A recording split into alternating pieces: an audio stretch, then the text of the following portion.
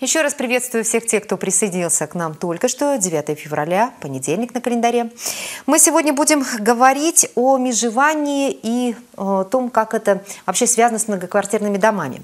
Представляю вам сегодняшнюю гостью. Это Елена Котова, президент Ассоциации управляющей компаний Пермского края. Добрый вечер. Добрый вечер. А, собственно говоря, почему мы подняли эту тему? К нам в редакцию идут и идут вопросы от телезрителей. И вот последний вопрос, который по электростроителей 12 был. Земля под многоквартирным домом. А, значит, э, бюллетень пришел заочного голосования, что вроде как нужно размежевать, а, чтобы дому земля принадлежала. Так оказалось, что большинство жителей против. А у нас создалось ощущение, что люди просто не знают, для чего это делается, и они не понимают ни плюсов, ни минусов этой процедуры. Вот скажите, в чем же плюсы и минусы? Ну, во-первых, э, многоквартирный дом – и э, право собственности да, на э, места общего пользования, включая в том числе и владение земельным участком, на котором этот дом стоит. То есть должно быть какое-то право использования этого земельного участка. Либо взять в аренду, либо оформить в собственность. На сегодняшний день законодатель дает такое право, это оформить земельный участок в собственность распоряжения самих собственников. Вы знаете, можно привести пример с автомобилями, когда автомобиль продают по доверенности. Угу. И э, потом непонятно, да, кто же все-таки является собственником. Вот здесь та же самая может произойти ситуация. Если земельный участок вовремя не оформить в собственность свой земельный участок, то может э, быть э, кто-то э, сможет оформить себе его в аренду, например, или там в собственность и построить на этом месте гаражи или э, стоянку, стоянку организовать, магазин. магазин организовать. Соответственно, и люди будут э, переживать вместо детской площадки, у них будет размещен какой-то хозяйствующий субъект. Ну, я, насколько понимаю, у, администрации э, все-таки есть задача э, передать кому-то в собственность землю, чтобы получать соответствующий налог да, на собственность.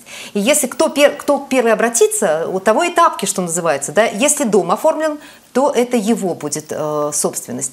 А если кто-то вперед захочет организовать нам стоянку, значит будет стоянка. Э, дело в том, что, конечно, преимущественное право, есть программа такая, она была и действовала – Э, когда э, дом, на земельный участок, на котором стоит дом, был размежован, и границы определены. То есть на сегодняшний день собственникам необходимо только подать заявление и вступить в свое право. То есть по, по факту они пользуются этим земельным участком. Конечно, есть необходимость. Бояться налогов я бы так э, прям сразу и не говорила, потому что есть масса судебных решений. Ведь товарищ собственников жилья уже достаточно давно прошли эту проблему.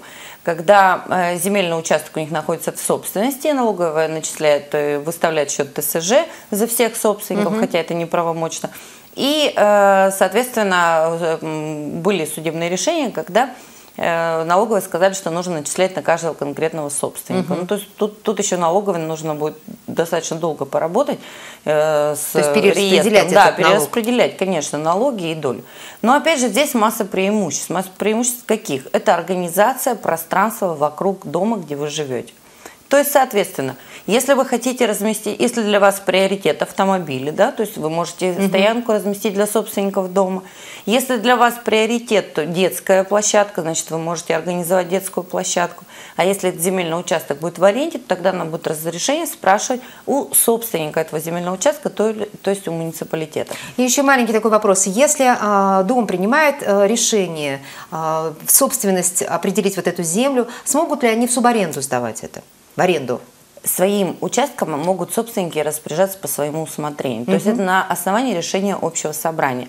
Либо они э, выбирают кого-то из э, собственников дома, дают ему доверенность. Этот человек идет э, оформлять все документы, которые угу. необходимо, и получает свидетельство о праве собственности. Также может каждый собственник получить свой экземпляр свидетельства.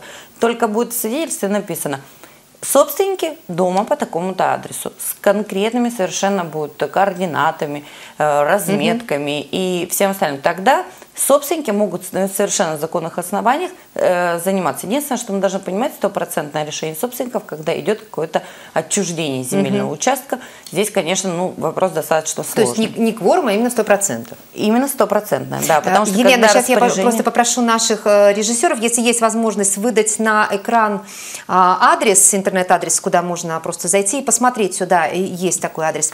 И, Елена, вот вопрос, опять же, по тому бюллетеню, который, э, на который я ссылаюсь.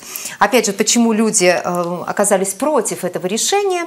А, написано, утвердить стоимость работы услуг, связанных с переводом земельного участка в общую долевую собственность в размере 25 тысяч рублей.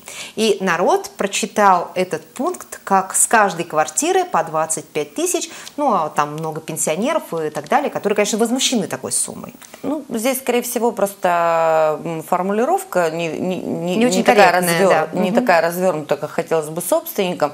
На самом деле, в управляющей компании можно все это уточнить, потому что если они назначили управляющую компанию, стоимость угу. таких работ, если этот участок не был э, сформирован муниципалитетом угу. и не попал в муниципальную программу и нужно сделать заново, то я вам скажу, цена колеблется от 25 до 56 тысяч рублей. И, э, то есть это на за весь все дом работы, сумма. конечно, за, за все работы. И сумма в бюллетене указывается за все работы.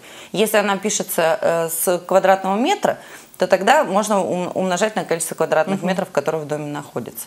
И еще вот такой момент. Э, каков алгоритм процедуры, чтобы собственники понимали, насколько прозрачно действует управляющая компания?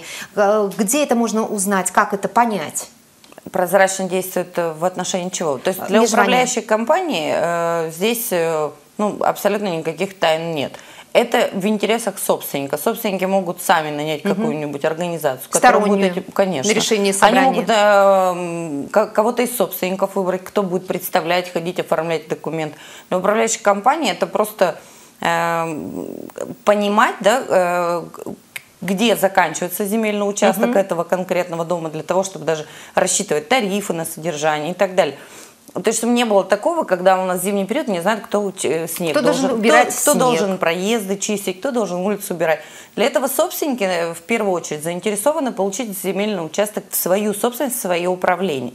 И тогда они будут иметь конкретные квадратные метры, за которые они несут ответственность и уже заказывают эти услуги работы в других угу. организациях. Собственники могут проголосовать против, нет угу. проблем.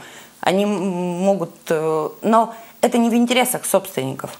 Э, конечно, в интересах собственников знать, где их участок э, и понимать, что они хотят там располагать, голосовать за это и уже реализовывать свое право Конечно, как в своей квартире. То угу. есть мы распределяем свое пространство. То же самое, наше пространство начинается с первого шага в наш двор.